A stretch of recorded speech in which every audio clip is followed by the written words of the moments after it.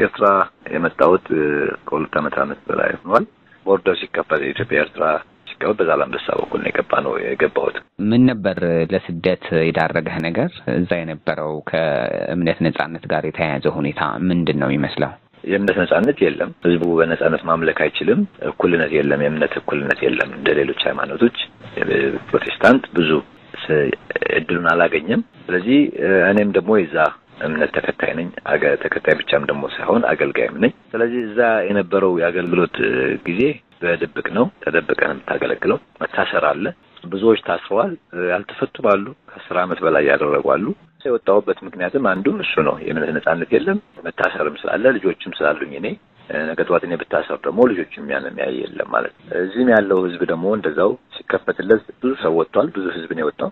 እዚህ በቋንቋው መገልገል ስላለበት ደግሞ የኢትዮጵያ እድሉን አግኝተን ደግሞ በትግርኛ በቋንቋው በህዝቡ ቋንቋ እያገለገል ነው ያለው ህዝቡን ማለት ነው። እዚህ ያሉትን አብያተ ክርስቲያናት ቦታ ጠይቀን ፈቅደውልን በእነሱ ነጻ በሆኑበት ሰዓት እነሱ አገልግሎት በማይኖርባቸው ሰዓት በማያደርጉባቸው ሰዓት ነው እኛ አገልግሎት የምናደርገው። ግርማን ውዳሴን ክወስድ ብቑ ይበሉ ኣብ ሰማይን ኣብ ምድርን ይኹን ክብሉ ከለዉ ሰማኹ እቶም ኣርባዕተ እንስሳን ከዓ አሜን በሉ። እቶም ሽማግሌታት እውን ፍግም ኢሎም ሰገዱለን በትግርኛ አገልግሎት እንድትሰጡ የሚፈቅዱላችሁ ብዙ ቤተክርስቲያናት አሉ እዚህ?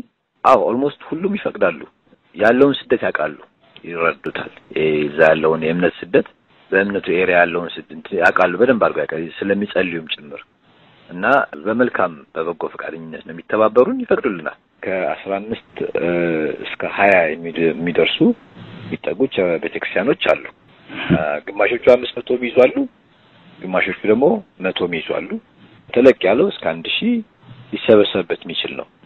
ምን ያህል አማኝ ይኖራል አዲስ አበባ? ብዙ አማኝ አለ። እስከ ሀያ አምስት ከሰላሳ ይሆናሉ። ሰላሳ ሺህ ማለት ነው። አማኙ በቋንቋው ስታገለግሉት ምን ታስተውላላችሁ? እረፍት ይሰማዋል። አንዳንዴ ቋንቋ ካለመስማቱ የተነሳ አማርኛ ቦታ ሄዶ የተወሰነ ያው በተለይ መጀመሪያው አካባቢ ላይ አመት የሚያክል በየቤተ ክርስቲያኑ የአዲስ አበባ ያሉ ቤተክርስቲያኖች እየሄደ ይሳተፍ ነበር። ግን በአብዛኛው እንደማይገባው ወይ ደግሞ ግራ ተጋብቶ እንደሚመጣ just ጸልየን መዝሙር ነበር መጣን ነው የሚለን ፍሬ ነገሩን ትምህርቱን አይዝምና ያ ችግር ነበር። አሁን በቋንቋው ሲገለገል ግን እረፍት ይሰማዋል። ሙሉ የሆነ መሳተፍ ይሳተፋል። ተሳትፎ ሙሉ የሆነ ውጤት እንዳለው ደግሞ ታያለህ እና effective የሆነ ለውጥ አለ ታያለህ። በህብረተሰቡ በቋንቋው ሲገለገል security ይሰማዋል፣ ደህንነት ዋስትና ይሰማዋል ማለት ነው። ጥሩ ጥሩ ነገር አለው። ጥሩ ለውጥ አለው። ብሂወት ንብረሉ ምስጢር ንስሐ ንዓወትና ምስጢር ንስሐ ከመንፈሳዊ አገልግሎት ባሻገር እንዴት ታግዙታላችሁ አማኙን? ብዙ ችግር ያጋጥመዋል። ስደተኛ ያው ዞሮ ዞሮ ችግር ያገኘዋል።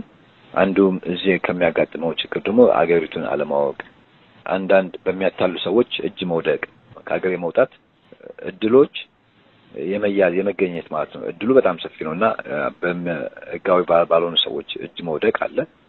በዚህ ነገር ብዙ ብዙ ቪክቲሞች አሉ። ብዙዎቹ በብር መጠን መጠኑ ከፍ ያለ እስከ አንድ ሚሊዮን የሚደርስ ክደት የደረሰባቸው መታለል የደረሰባቸው ሰዎች አሉ። የአእምሮ ችግር የሚያጋጥማቸውም ሰዎችም አሉ።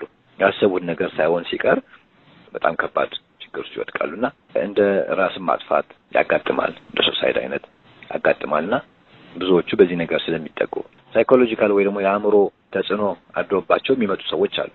በምክር እናገለግላቸዋለን፣ በጸሎት እና information በመስጠት ደግሞ እንደግፋቸዋለን። እንደዚህ ብታደርግ ጥሩ፣ እንደዚህ አታደርግ፣ ይሄ ደግሞ አደገኛ ነው፣ ይሄ ደግሞ ህጋዊ ነው ብለን እኛ በተቻለ መጠን ከሀገሪቱ ህግ ጋር ተስማምቶ የሚሄድ ነገር እንዲያደርጉ ነው የምንመክረው።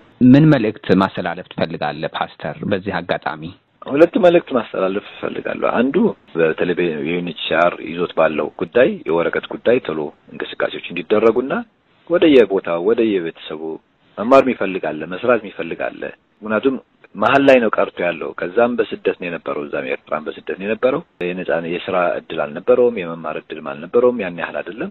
ሌላው ደግሞ ወደ ቤተሰቡ ቤተሰቡ ጋር መጠርነፍ መገናኘት የሚፈልግ ሰው አለ። ለምክንያቱም ቤተሰቦቻቸው ከወጡ ብዙ ያደርጓል። የአስራ አራት አመት ልጅ እዚህ ካለ ቤተሰቡ ሙሉ አሜሪካን ሀገር ካለ ወይ ካናዳ ካለ ወይ እንግሊዝ ሀገር ካለ ወደ እነሱ መሄድ ሲገባው እዚህ ነው ቀርቶ ያለው። በ military ጉዳይ ኤርትራ ቀርቶ እድሉን ሲያገኝ ነው ተደብቆ border አቋርጦ የገባው እና ይህ ሰው አልገባም ቤተሰቡ ጋር። ሌላው ደግሞ በሀገሮች ደረጃ በግል ደረጃ መስራት የሚፈልግ መማር የሚፈልግ ህብረተሰብ አለና ይህን ደግሞ ትኩረት አግኝቶ ቢገባ። ሌላኛው ደግሞ ይኸኛው ለሚመለከተው ሌላኛው ደግሞ ለኤርትራ ስደተኛ ቤተሰቡም ሊሆን ይችላል ህዝብም ሊሆን ይችላል እና ድጋፍ ቢያደርግ ድምጽ ቢሆን ልብስ ያጡ አሉ። ለምሳሌ ከዚህ ከካምፕ ተፈናቅለው የመጡ አሉ። ልብስ የሌላቸዋል፣ ምግብ የሌላቸዋል፣ የቤት ኪራይ ይከፍልላቸው ያጡ አሉ እና ችግር ላይ ያለው ህዝቡ ፈጣን የሆነ እርዳታ ይፈልጋል። ለሚሰማ ሁሉ ይህን መልእክት ማስተላለፍ እፈልጋለሁ። በጣም አመሰግናለሁ ፓስተር። እኔም አመሰግናለሁ።